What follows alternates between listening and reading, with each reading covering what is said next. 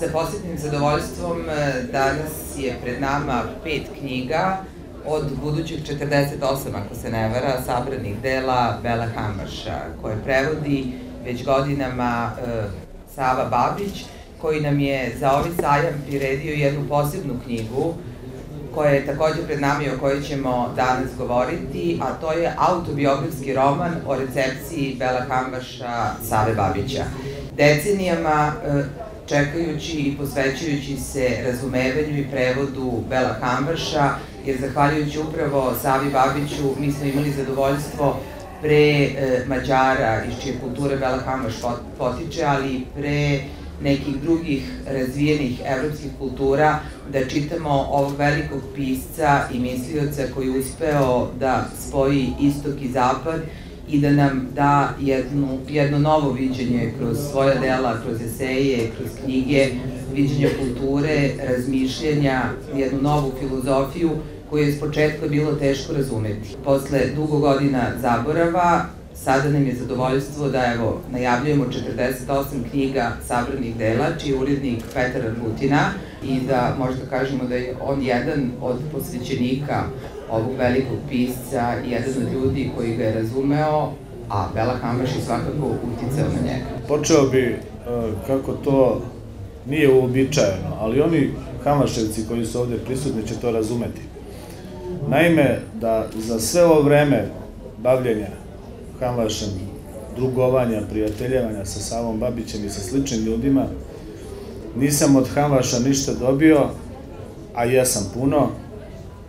Dovoljno bi bilo to što sam upoznao divne ljude. I svi oni ljudi koji su pisci, pored Save Babića, ovoga romana Granice iščezavaju, zar ne, jesu u stvari ljudi članovi, posvećenici, adepti, kako vam je god milije, jednog posebnog bratstva.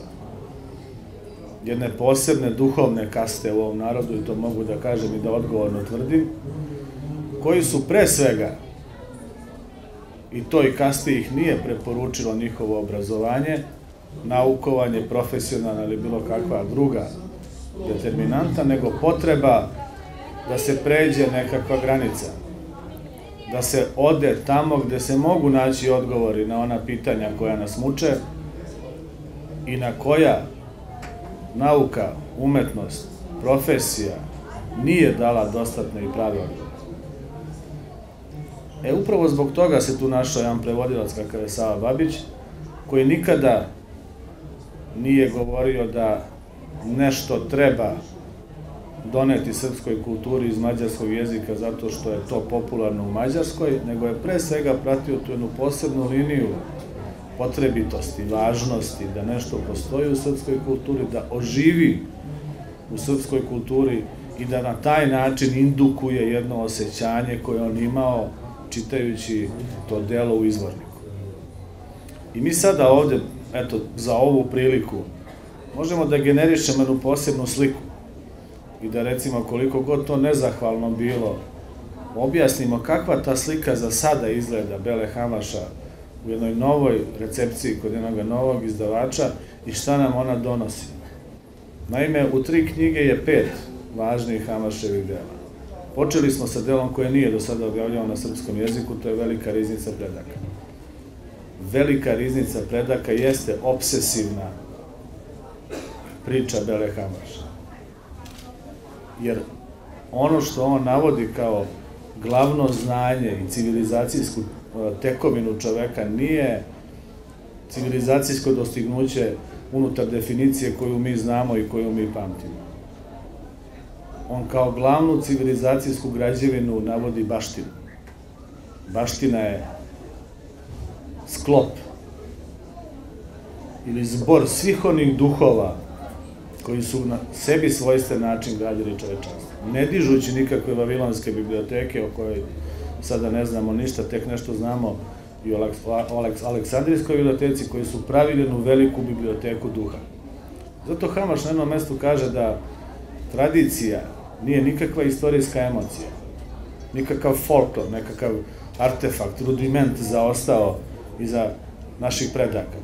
Tradicija je večiti spoko istine, Jer samo unutar istine mi možemo da dosegnemo tradiciju. Samo unutar istine mi možemo da prihvatimo kao duhovnu baštinu i nasleđe ono što je pripadalo indijskoj, mesopotamskoj, indoevropskoj, svakoj drugoj kulturi. Samo tako nam može biti jasna ona matrica koju Bela Havaš često navodi i koja naravno pripada nam drugom učitelju tradicije René Genonu, ta primordijalna tradicija.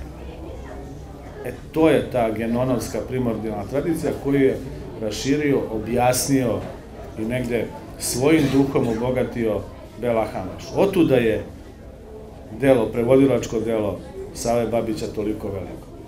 Iako istini za volju, meni ponekad malo krivo, zato što nekako drugi mislioci nisu uspeli da se izbore za ono mesto koje Havaš uh, ima u srpskoj kulturi, ali to verovatno opet ima mnogo više veze sa nama nego sa, sa tim misliocima poput Tabora, poput uh, Bele Kuna, poput uh,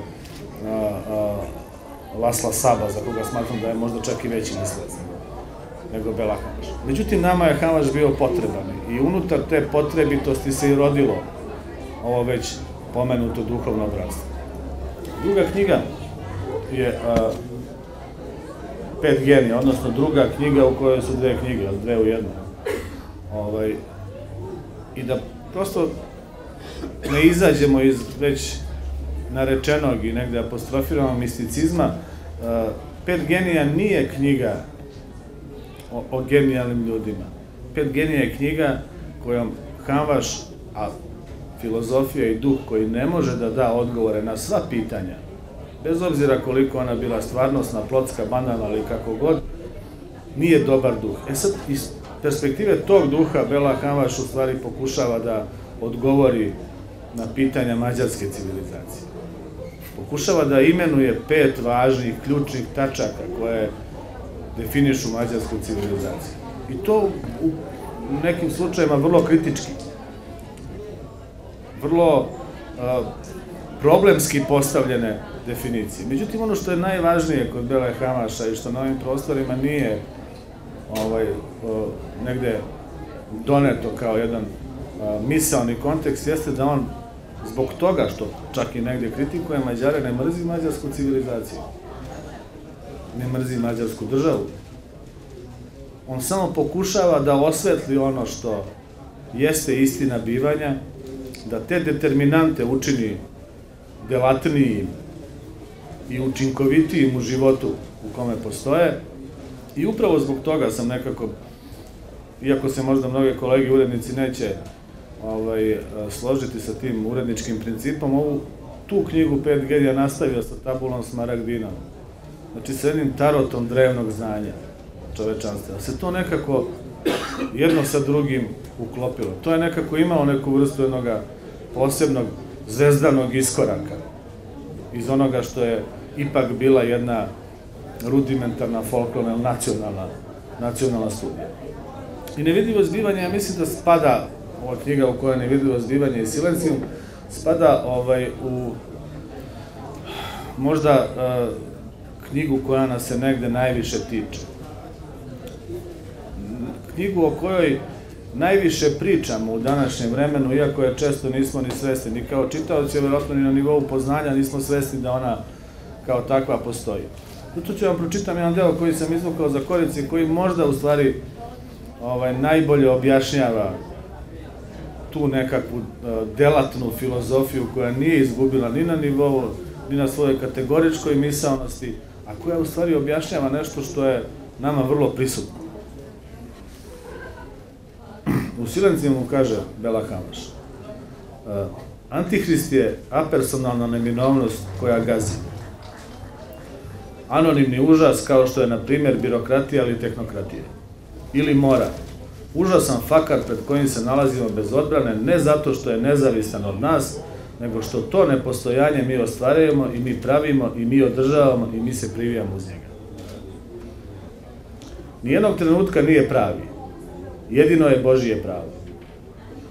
Antihrist je fikcija bez tela i bez duše i bez duha. 666. To je ono što postoji sada i danas. Živimo u toj neistini. To je poslednja razdoblja apokalipse, pojava bezličnog terora, svi drhte, pa ipak je tu i fakat I svi to rade. Ništa, pa ipak je fakat.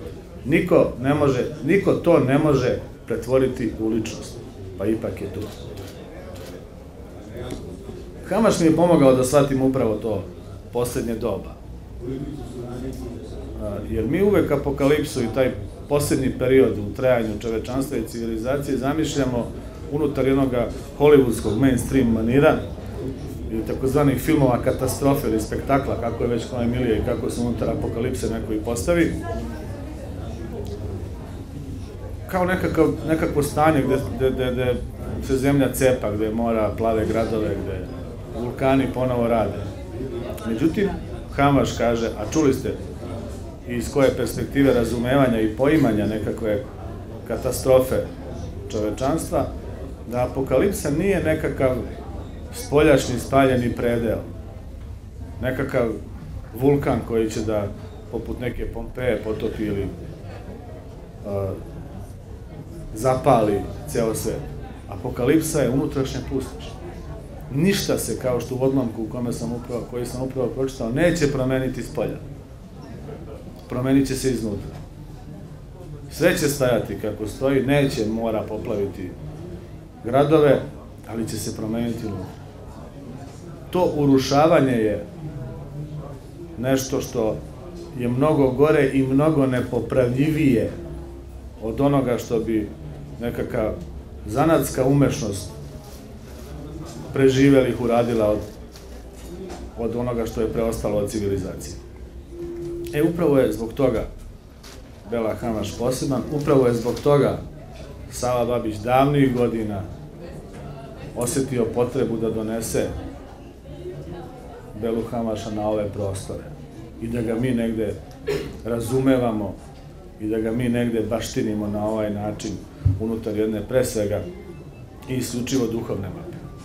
I da zaključim, iako bi ono mogao da pričam previše, a opet ne bi došao do nekakvih važnih istina koje biste vi odavde poneli pa rekli, eto sad saznali smo nešto novo, ili, bože kako je pametan ovaj momak, ali ovaj, uh, suština je sledeća. Uh, kad smo već kod bombardovanja. Za vreme bombardovanja Mathausena u kome je bio sužen vladika Nikolaj Velimirović i patrijar Gavrilo Dožić, u tom, u toj baraci gde su bili razni sveštenici, ne samo pravoslavni, protestanti, katolici, svi oni koji se nisu slagali sa Hitlerovom vlasti i koje naravno nisu pre svega iz moralnih razloga mogli ni hteli da podrže. Kada je pala na ogromna bomba, oni su svi sklonili u krater te bombe, računajući po onoj prostoj ljudskoj logici da ne može bomba da padne dva puta, dva puta na isto mesto. I o tome Vladika Nikolaj piše ovako. Evo šta se dešava sa današnjim svetom. Kultura 20. veka sakrila se ovaj krater od bombe, bežeći od civilizacije 20. veka. E sve to što je kultura 20. veka i što je u svim vekovima pre ušlo u tu kulturnu i duhovnu maticu 20. veka, skrilo se u ove knjige. Bela Hamar se svojim životom i posvećenjem potrudio da nam to prenese na pravi način. Pa sad, ako ne postoji druga, drugi svet, ili kako bi to poznati zagrebački filozof Anja Sutlić rekao, ako ne možemo promenimo svet, uvek možemo da promenimo kafanu. Ali ako ne postoji drugi svet, onda postoji istina o našem svetu. E ta istina je upravo u ovim knjigama, koje ja i dan danas i kao urednik čitam i čitaću ih još uvek. Verovatno ću se truditi, barem koliko me pamćenje služi, da ih citiram kad god je to moguće, i zbog svega toga moga truda svet neće biti bolji. Toga sam postao svestan kad sam počeo da se bavim ovim poslom. Misao o svetu će biti bolja. To je sasvim dovoljno za jedan kratak i dosadan život kakav je moj. Hvala. Što nema profesora Save Babića, zato ne bih, ne bih se usudio pred njim da govorim, zato što iz jednog velikog poštovanja prema tom čoveku želim nekoliko rečenica da izgovorim. E, jedan stari automobil, putuje Ibarskom magistralom, ide negde u nekom pravcu, iza njega je još jedna starija prikolica, kamp prikolica. Otprilike jedne godine našao je se u mom kraju tamo u Ribaševini, pod jednom lipom. I tu je onda izneo odmah Stočić, stolicu i odmah počeo da nastavlja u stvari prevod Havaša, a uveče i svoj dnevnik u jednom To je jedna od stotina stanica Save Babića. Na brojnim srpskim planinama, kraj brojnih srpskih reka, jezera i na obalama Jadranskog mora. Tako je on onda divanio i obilazio razne kuće i one gde je živeo Mihajlo Milanović, slikar koji je tako tragično stradao 1941. A u čijoj kući se krio ili bar bio zbrinut jedno vreme Milan Stadinović, kada je prognan iz Beograda zbog određenog koje stvari, jer on je hteo nešto da ne bude ni ratni pakt, a to kod nas nikad nije moguće da bude i jedno ni drugo, ili ni jedno ni drugo. A Sava Babić nam u ovoj knjizi u tri sloja, najmanje tri, ima ih stotine. Ja vas to zaista uveravam i tu je Petar potpuno u pravu, nešto je moj džak. Zato što Sava na jedan briljantan način, prvo daje Havaša dole u osnovi, to je temelj. Onda gradi jednu građevinu, hroniku, kronologiju, kako Havaš ulazi u našu kulturu. A on ne samo da je svedok, on je akter, on je učesnik, on je tvorac, on tera ljude da pišu, on goni mnoge, on piše pisma, on traži mnogo od ljudi. Neke čak tera godinama i ne odustaje dok ne pišu kao Enika Josifa, a on onda piše pet tekstova, pa jedan bude 80 stranica, kad se ljudi oduševe šta je to sve stvorio Vera Hamaš. Taj, to je ta druga građevina. Treća je ono što su drugi napisali o Hamašu, zahvaljujući njegovim predanjima i jurnjavama i tako dalje, tako da to je neki kao krov, jel? I Sava Babić u ovoj sjajnoj knjizi, koju zaista uh, s pravom naziva, nisam znao, sad mi je rekao moj prijatelj također, da je da, da u Korice da je radio uh, gde se sad nalazi ovdje. Branko, eno ga tamo na kraju. Branko. Da, nisam znao zaista da je Berić Branko radio te kolice, koje su također sjajne. I ta knjiga je meni, ja sam je iščitao u jednom dahu, iako je ogromna. Dahu je to bilo jedno mjesec dana i više čitanja. Nemamo mi mnogo vremena čitanja, nažalost. Ali to je jedna sjajna knjiga. To je istorija srpske kulture u jednom segmentu. To je istorija Havaša, njegovog ulaska u Srbiju i našu kulturu. To je istorija dela angažmana Save Babića na tom projektu. To je, znači, jedna istorija. S druge strane, jedna divna književnost. S treće strane, jedna divna umetnost. S četvrte strane, to je jedna divna beleška, dnevnik. Ne znam šta sve nije. Hronika. Tako da je ja od srca, kao čitalac, a ne kao znalac, preporučio. Hvala.